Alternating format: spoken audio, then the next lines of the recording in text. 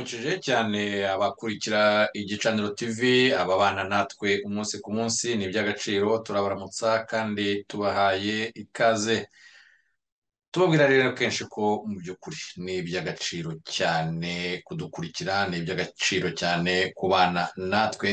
Maze rero eh, igihe waba uri kumwe natwe ubu ngubu turagira ngo tugusabe gukora subscribe eh, ukore like and share kugira ngo eh, abantu bajye babona ibi biganiro abantu bajye babona ibiganiro ndi mu kiganiro cya none uyu munsi ndi jyenyine. Eh, ndi muri reflexion ndi no kwibaza ibintu uko byabaye uko byakozwe. Ariko cyane cyane ndagira ngo twigane hamwe turebe ibihakanwa turebe n'impamvu abantu babihakana. Eh, muri jenoside yakorewe abatutsi impamvu tugenda tugaruka kuri ibi bintu ni uko buri munsi hari igishya. Buri munsi haza ibishya aha ngaha nagira ngo tuganire eh, tunarebe kure.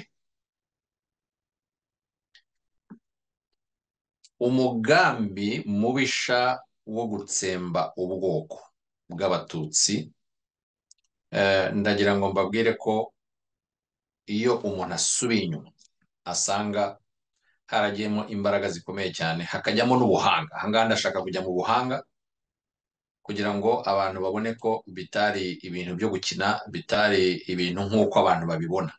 Buriya eh, nyuma y'imyaka mirongo itatu hari ibigenda byidekanta hari ibigenda bigaragara hari ibigenda biza hari ibigenda eh, abantu bacukumbura hari ibyo abantu bavuga hari n'ibyo biyemerera. Eh, mm, ngewe ndaza kujya mu mu nyandiko njye mu nyandiko njye mu byavuzwe eh, ariko tunareba abantu. Tunareba abantu tumenye ngo ese umuntu kanaka yarinde namwe rero ndagira ngo tujyane muri uru rugendo. Mu bacurabwenge mu bacurabwenge ba jenoside mu bacurabwenge bo kurimbura abatutsi mu rwanda. Abantu bakoze plan abantu bize uko bizagenda.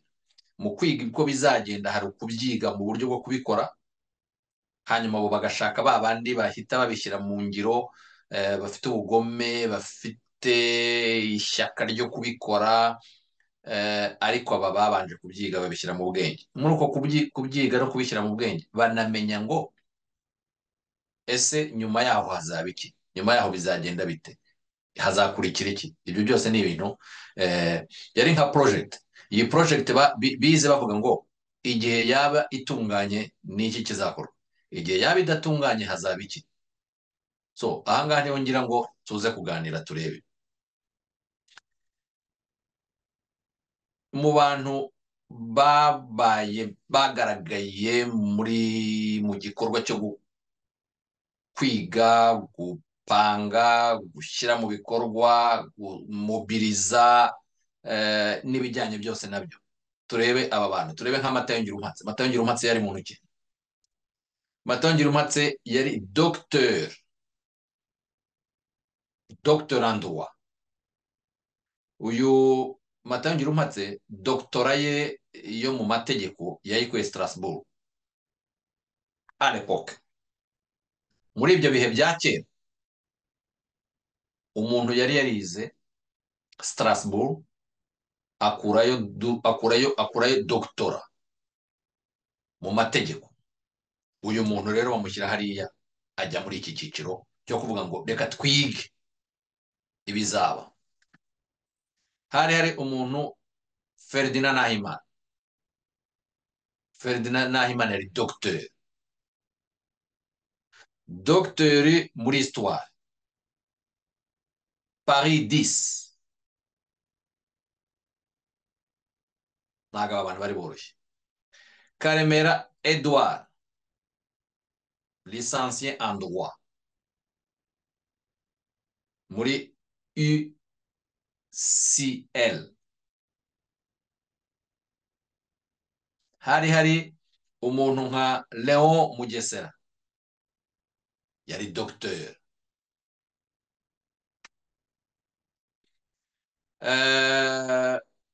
mastermind. Mastermind uwo bishingiraho teonesite bagosora teonesite bagosora kugira ngo ujye muri ekoro superiere militaire wagombaga kuba wararangije amashuri yisumbuye. Iyo wajyaga kwiga muri ekoro superiere militaire wasohokagamo uri lisansiye muri sosho wari lisansiye muri serivisi wagombaga kuba uri lisansiye lisansiye en science sociale militaire yes iyo warangizaga ekoro superiere militaire wavanagamo lisansi ukaba uri lisansiye en science sociale et militaire hanyuma yaje kugira inshuro nyinshi cyane ajya kwihugura yagiye na mure mu bubirigi ndetse mu bubirigi yagiyeyo inshuro ebyiri kuko ndabona ko yagiye no muri korodogere yagiye mu bufaransa muri interarme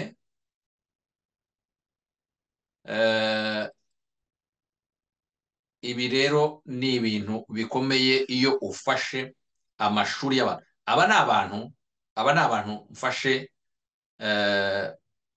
o hazari. Kureba hazari mvuga ni amazina yaje kubera yaje kubera ko aba bantu bagize uruhare rugaragara cyane rwo gukora jenoside yakorewe abatutsi kuyigisha kuyipanga ndetse bakayikangurira abantu. Amagambo mata yongera umatse yavuze murayazi amagambo Ferdinand Nahimana yavuze murayazi amagambo Leo Mugesera yavuze murayazi Theoneste bagosora amagambo yavuze murayazi kugeza avuga ati muzazane abonishe banshinje. Ibi bintu byose ni ni abantu baje mu mutwe mpita nshakisha abarimu. Iyo rero urebye aba bacurabwenge abacurabwenge ba jenoside yakorewe abatutsi aba bacurabwenge ugafata nka matayo ngirumatse. Matayo ngirumatse muri bya bindi navuze intambara irimo iba ni ukuvuga ngo harimo haba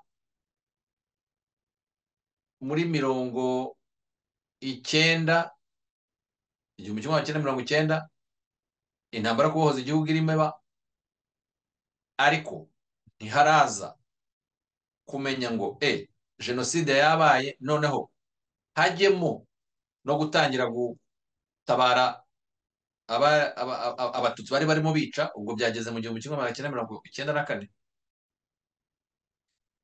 Matayo ngirumatse we yari yaratangiye kubwira abantu ko bazahabwa intwaro. Babicishije ngo mu bayoboraga emerende muri za segiteri muri za komune muri za perefegitura ati ibyo ntavugiye hano. Ati tuzabibagezaho. Ibi rero ni ibintu bikomeye cyane nyuma rero y'uko babonye ko uko kurimbura abatutsi kudashobotse batabibashije iriya gahunda yose mwabonye yakozwe yose yari plan gutwara abaturage biriya bintu ni ibintu ni ibintu utari gushobora iyo utari kuba warabyize utari kuba mwarabiganiyeho. Ni gute igihugu cyahunze gihungana buri muturage? Ni gute batwaye umuturage wese? Kuko baravugaga batumva rero niba inkotanyi zifashe iki gihugu mureke dukuremo abaturage bose mu gihugu. Dukuremo na buri kintu cyose kuko murabizi nta modoka yasigaye nta kompiyuta yasigaye amafaranga mu mabanki barayatwaye ibikoresho mu bitaro barabitwara kugeza kuri za ambiranse. Radiyo rwanda. Radiyo rwanda barayidemonta kuko radiyo rwanda ntabwo ari biridingi ntabwo radiyo rwanda ari inzu ni ibikoresho birimo. Baratwaye ibikoresho. Ubwo bivuga ngo niba batwaye ibikoresho n'abajournaliste bagiye. Ariko ibyo batabashaga gutwara barabisenya barabimanyaguraga barabimenaga. To amafaranga aragiye ibitaro biragiye radiyo ziragiye amashuri baratwaye buri kintu cyose kiragiye kugeza ko mbabwiza ukuri. Bagiye muri za santarari hidro elegitike baramanyagura. Bagiye hariya kabusunzu eh, epirasiyo y'amazi kimisagara.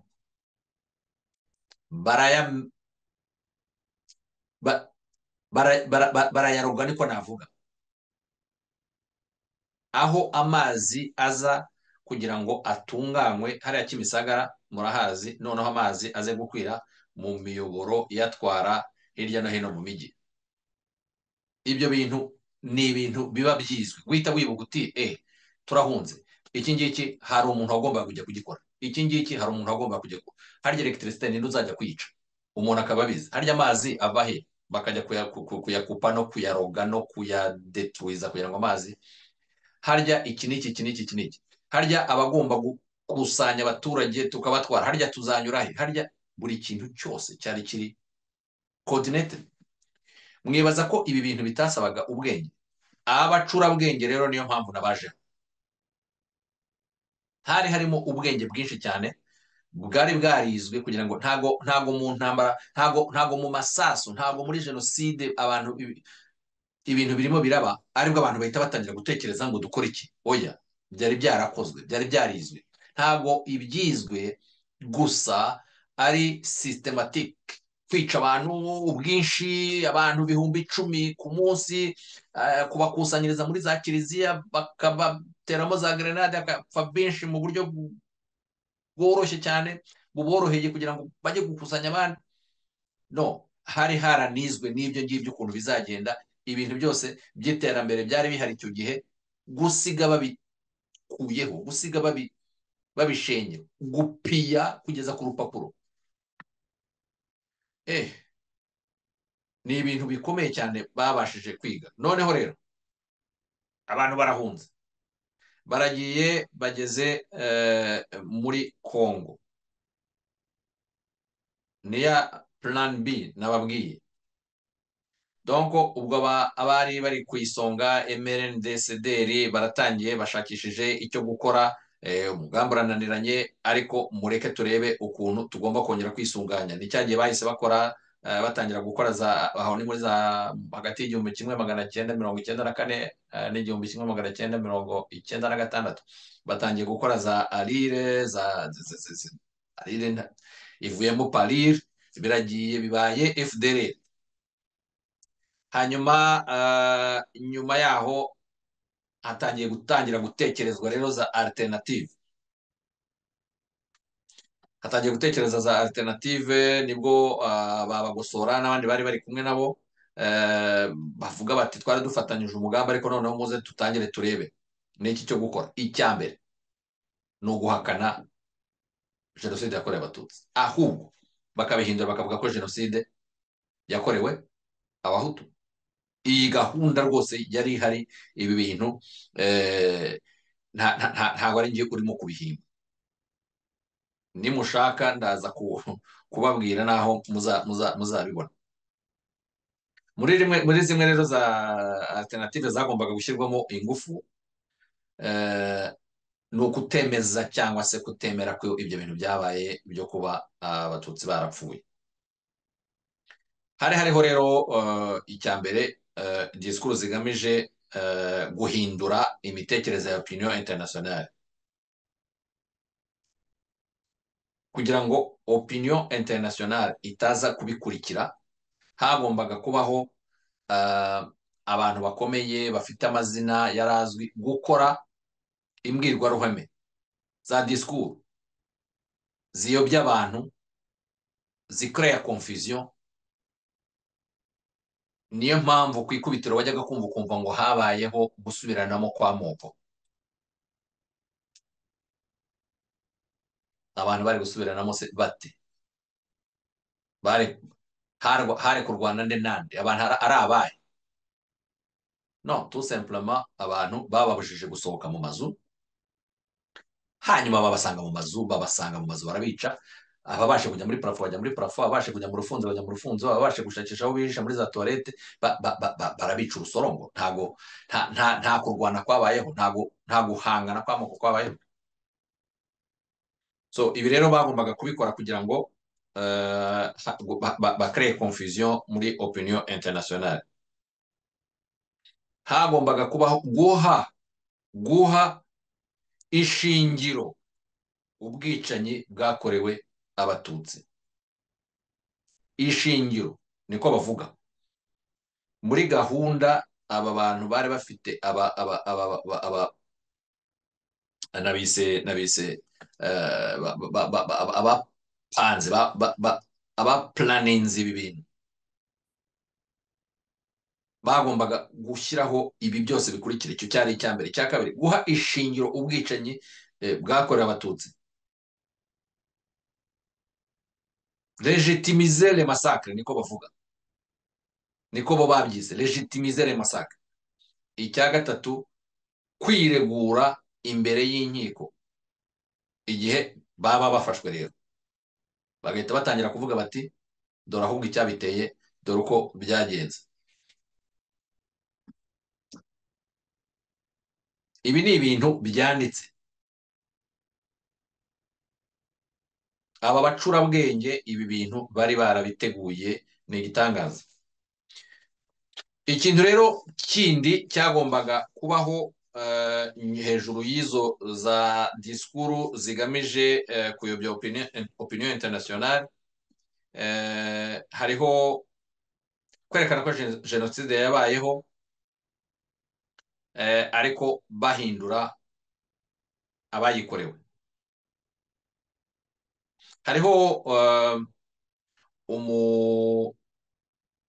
umwunganizi. Umwunganizi eh, eh, ari mu bagosora uyu nguyu ni we wabanje kubabwira ati ntabwo mugomba kwemera icyo kintu ko cyanabayeho mugomba guhangana mukavuga ko icyo kintu kitabayeho mwivuga ngo yego byarabaye ariko oya ahubwo muhangane muvuga ko kitigeze kibaho mu nyandiko eh, ya Theoneste Bagosora yo ku itariki mirongo itatu z'ukwezi kwa cumi mu gihumbi kimwe magana cyenda mirongo icyenda na gatanu. Iyi nyandiko yandikiye muri muri Cameroon. Yise l'assassinat du président Habyarimana l'ultime opération Tutsi pour sa reconquête du pouvoir. Kugira ngo agaragaze ko ibi bintu byose byatewe eh, n'iharurwa ndi- ni- ry'indege ya Habyarimana hanyuma avuga ati abatutsi bari bagamije kongera gusubirana ubutegetsi. Ubu kugira ngo yandike iki kintu acyandike namwe nimubyumve ni ibintu yakoze 30 octobre. 30 octobre 1995 mirongo icyenda na gatanu. Hari hakiri kare cyane. Ariko already yatangiye kwandika kugira ngo agaragaze ko ibyabaye mu by'ukuri eh, ni ibyo ntabwo ari ibyo abantu babona. Hariho eh, inyandiko eh, ya kabiri eh, yanditswe n'icyitwaga Rassemblement pour le retour des réfugiés et de la démocratie du Rwanda RDR na cyo cyandikiye muri Kam- muri muri muri muri Cameroon. Eh, ni mu kwezi kwa gatandatu mu gihumbi kimwe magana cyenda mirongo icyenda na gatandatu mu kwezi kwa gatandatu ba- bandikira Conseil de sécurité. Icyo kintu cyasinyweho na Bagosora Theoneste gisinywaho na Jean Bosco Barayagwiza na Laurent Semanza. Laurent Semanza abatajya bamumenya. Laurent Semanza eh, yari burugumesitiri wa komine Bicumbi. Uyu nguyu iyo wumva ngo burugumesitiri wumvaga ari umuntu muto. Burugumesitiri. Ariko nta na rimwe atabaga ari muri membre du comité central. Abatazi membre du comité central kugira ngo ujye muri membre du comité central wagombaga kuba nyine uri umuntu emerende igisha inama ku birebana na politiki y'igihugu. Membre du comité central kugira ngo mwumve icyo gihe l'époque ukuntu yari umuntu ukomeye iyo wabaga uri membre du comité central wabaga uruta minisitiri ba minisitiri benshi babaga bari muri membre du comité central ariko iyo wabaga uri membre du comité central utari muri guverinoma ntabwo uwo muri guverinoma eh, yagukangaga cyangwa ntacyo yari avuze imbere yawe. Du comité central yari umuntu ukomeye. Aba rero ibi bintu eh, barabisinye. Hariho inyandiko ya gatatu yanditswe na mata yongera umatse nagiye mbabwira nti aba bantu ntabwo byari hazari ko bajya muri biriya bintu ko ari bo bakora sitarateji n'iki. Ndababwiye nti biyambaje abahanga. Biyambaje abahanga. Biyambaje abadogiteri muri za duruwa muri mu mateka mu gisirikare ntabwo ari hazari ibi bintu. Nibyo bize mbere rwose kare kugira ngo ibyo bintu bizakore. So uyu mata yongera umatse iyi nyandiko yayise la tragedie rwandaise. L'autre face de l'histoire ibi ngibi yabyanditse mu gihumbi kimwe magana cyenda mirongo icyenda na gatandatu bigeranza mu gihumbi kimwe magana cyenda mirongo icyenda na karindwi. Ahangaha yabyanditse atarafatwa yabyanditse ari muri mari izi rero nyandiko zose zari zigamije guha ishingiro ngo guha ishingiro ubwicanyi. Niko bavuga. Guha ishingiro ubwicanyi. Bitari jenoside yakorewe abatutsi. Bahaga ishingiro ubwicanyi noneho bakagaragaza ko kuba byarabaye nuko byagombaga kumera. Hano rero hari hariho kugaragaza ngo rasizme isano hagati ya disikuru negosiyanisme na rasizme ahangaha bagombaga gukora ikintu gikomeye cyane cyo kuyobya berekana ko ibyabaye ari ugusubiranamo kw'amoko muri iyi nyandiko y'abagosora yo l'assassinat du président Habyarimana l'ultime opération tutsi pour sa conquête du pouvoir. Iyo usomye ku nyandiko y'abagosora usangamo imvugo mbi zishimangira ibyo abakoroni banditse. Urumva ko yagiye kure akajya kuzana bya bintu kugira ngo abantu batangire barebe bavuge ngo abantu hari ahantu bavuye hatari mu rwanda. Nanone iyo umuntu asubiye inyuma hariho umufaransa witwa bernard lugan ni umunyamateka. Avuga ko kuba nta kimenyetso ko jenoside yateguwe ahangaha mu byumve mwumve n'uwabyanditse ni umufaransa ariko akavuga ati nta kimenyetso na kimwe gihari kuba jenoside yakorewe abatutsi yarateguwe. Ati ibintu byose byatewe n'urupfu rwa perezida habyarimana.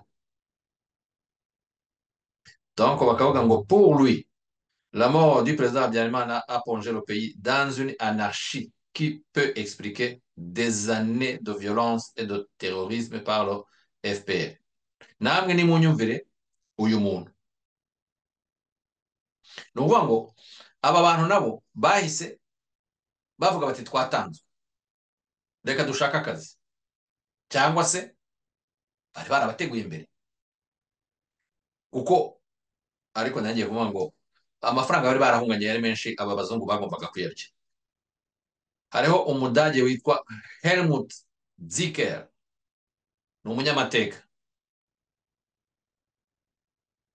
ngo nta jenoside yateguwe ngo ni propagande yabayeho giturumbutsi spontane. Ibi rero ni ibintu abantu dukwiye kujya tureba tukavuga ariko buri muntu wese akibuka ko atari hazari yakoze ibi bintu ari ibintu byizwe ari ibintu byagiyemo abacurabwenge bagafata ikaye bagafata urupapuro bagafata ikaramu bakiga bagakora amanama amajoro n'amajoro kugira ngo ibi bintu bazabigereho jean kambanda jean kambanda yabaye minisitiri w'intebe. We aravuga ngo rezi interahamwe do fpr igitabo. Fpr killers koko. Ubundi umuntu nk'uyu uba waremejwe n'ibyaha nk'ibyo yemejwe ndetse agakatirwa akajya gufungwa. Kugira ngo ashyigikirwe kugira ngo ahabwe uburenganzira bwandika ibitabo nk'ibi ngibi ibitabo bikajya hasi bikajya hanze. Bigasohorwa na za mezo zikomeye z'abanditsi. Mwibaza ko ari hazari mwibaza ko ari ibintu biza gutyo mwibaza ko byikora. Arafunze. Ari mu munyururu. Sapoti arayibona. Yo kwandika ibyandika maybe birava mu mutwe mais sapoti yo kugira ngo igitabo kigire maison igisohora kigire eh, aho gituruka hafite imbaraga. Eh, umuntu wese ashobora kwandika. Burya umuntu wese ashobora kwandika. Ariko igitabo kigira imbaraga bitewe n'aho gi- giturutse. Maison igisohoye maison d'édition. Ariko ibi aba yabikorewe hakaza rya zina ri- rikaza risanzwe rivugwa uko rivugwa kose ntibibareba maison d'édition ikagisohora kikaza kimeze gutya bagashyiraho titre nk'iyi hariho umuntu witwa Nahimana Ferdinand ibitabo bitatu Rwanda Redit Hutu Accusé. Ariko ibi bitabo gukomeza no kubivuga ubanza ndimo nbyamamaza reka reka yanditse ibitabo bitatu. Ah, hariho rero ah, ba Louise Ntibiragabo hariho ba Faustin Ntirikina hariho ba Laurent Serubuga aba ni abantu baba bagishakishwa bari bagishakishwa uyu Serubuga wenda n'uyu munsi mu Bufaransa. Ubufaransa ntibushaka kumutanga. Icyo rero umuntu mu by'ukuri hano aba ashaka kugaragaza ni ukugaragaza ko ibintu byateguwe bikigwa kandi bikigwa n'abanyabwenge. Kandi bakabyiga kare. Kandi bakiga bati dore ibigiye gukorwa. Ariko mu gihe umugambi wo gutsemba completely tutawugeraho. Igikurikira ni iki? Mu gihe twateshwa gahunda yacu ntigerweho. Igikurikiyeho ni iki? Hanyuma mu gihe twaba turi hariya twebwe kwiregura kwacu tugupanze gute? Ibi byose banyuriyemo uko byagiye bigenda. Kugeza rero n'uyu munsi ibyo bintu biracyahari. Ibyo bintu biracyakorwa. Abantu baracyahakana. Nyuma y'ibi bintu byose abantu baracyahakana baracyavuga ko ibyo bintu bitabaye baracyavuga ko bitabaye ariko ko n'ibyabaye atari kuri iriya mperere babivugaho. Abandi bakavuga bati noneho ahubwo eh abakijije jenoside yakorewe abatutsi nibo bayikoze ahubwo dore ni muri ibi ngibi uyu kambanda yanditse. Igitabo.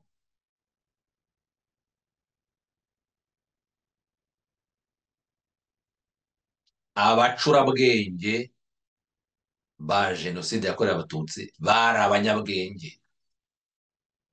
Bari abanyabwenge nibo bicaye barayiga. Abantu rero babyumve ntibazongere guhakana ubusa ntibazongere guhakana ibintu bihari. Tugaragaje ibimenyetso. Nababwiye ko ntabwo nshaka kwamamaza ibitabo byabo ariko ibitabo byabo byose hano ndabifite. Maison d'édition. Ndazifite. Nshobora kuvuga nti ikintu runaka yacyanditse ku rupapuro uru n'uru uru n'uru uru n'uru speech bagiye bavuga. Zose ngizi ndazifite. Igihe byakorewe. Amalieu aho byabereye ngibi ndabifite. Abavoka babafashije. Bamwe nagiye mbavuga amazina. Byose ngibi ndabifite.